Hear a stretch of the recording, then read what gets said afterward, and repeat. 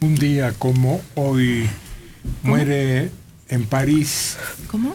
Marcelo Mastroianni no entiendo. en 1996.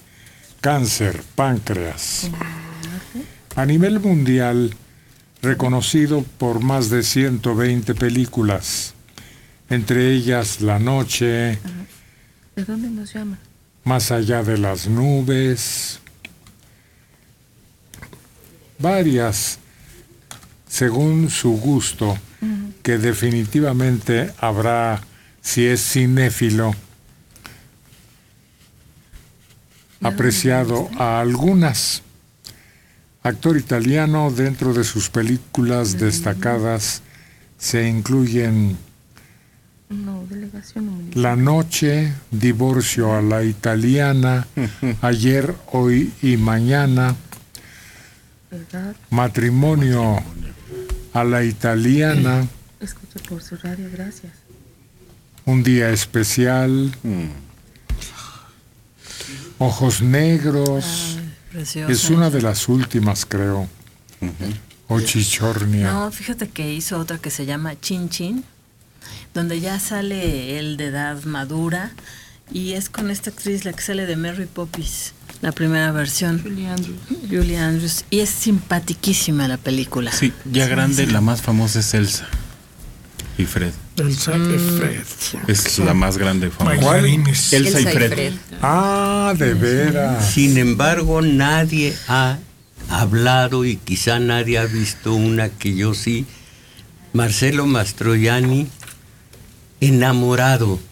Es una madre y es una enanita y la hija. La madre cree que está enamorado de él y va resultando que cuando pide la mano es de la enanita y se casa con la enanita. Y nadie hace referencia a esa película de, de Mastroianni. Eh, todos estamos bien. Ah, eh, Estamos todos bien. eh, eh, muchas películas hermosas de, de este hombre. El de las primeras, Los desconocidos de siempre. Un ladrón que anda con un escuincle y un des- desmolado que siempre le anda quitando el biberón porque no puede masticar. Eh, eh, eh, lo mismo, eh, Mas- eh, bueno, Mastroianni y Vittorio Gassman son los que empiezan en esas películas. Allí está nuestra amiga que tiene una pantallota bien aprovechada. Cualquiera de esas que se mencionaron, cualquiera metería la mano al fuego. En Aunque donde aparece la fuente de Trevi. Ocho, ocho y bueno, bueno, la dulce vida. medio, la Dulce vida. Vita. Ocho y medio vida. yo no la recomendaría. Yo no, yo no, ocho y medio. La porque es muy complicado. Romesca. Sí. Sí, muy complicada, pero el matrimonio, porque además va en orden, es matrimonio, divorcio y ayer, hoy y mañana. Ya me dio romesca, dice. Y están muy todas es- los desconocidos de siempre la puede encontrar. Le prometo que va a aprovechar bien su pantalla.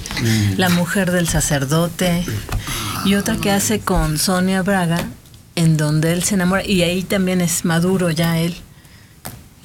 Bueno, él hace de, de- Una de- pimienta y clavo. de, este, Casanova Gabriel. en la, la noche de Barents. Ah, sí, sí. Pues varios premios. Fue actor teatral durante 10 años.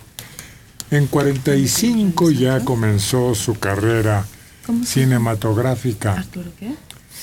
Tomaba lecciones de interpretación.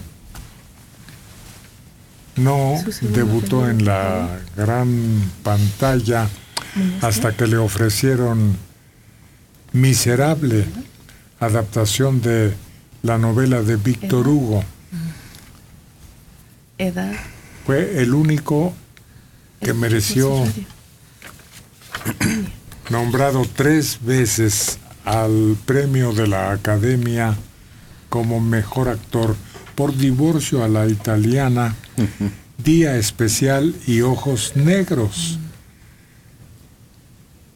Dean Stockwell y Jack Lemmon son los únicos actores premiados dos veces como mejor actor en ese festival. Pero por ejemplo, Ojos Negros es una gran película.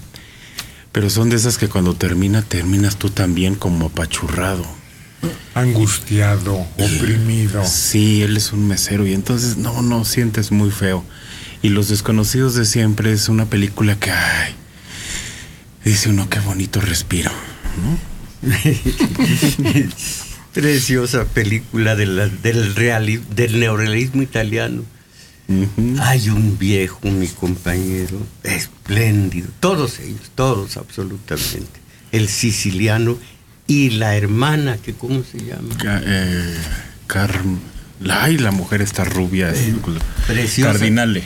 Claudia, Claudia Cardinale, Cardinale. que allí también debe ser el principio de su De su carrera. Sí,